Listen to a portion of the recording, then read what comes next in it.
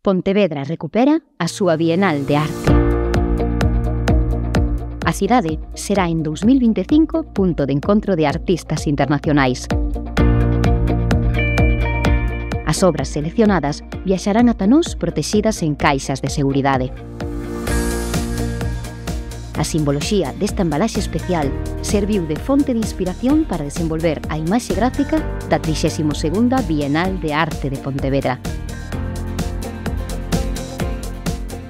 Modernizamos a tipografía stencil que se empregaba hai séculos para marcar as caixas de transporte e armamos un logotipo brillante e con forza, co emprego dun rosa flúor que transmite entusiasmo e vitalidade. A Bienal será un punto de encontro e un motivo de celebración. E iso é o que se busca transmitir.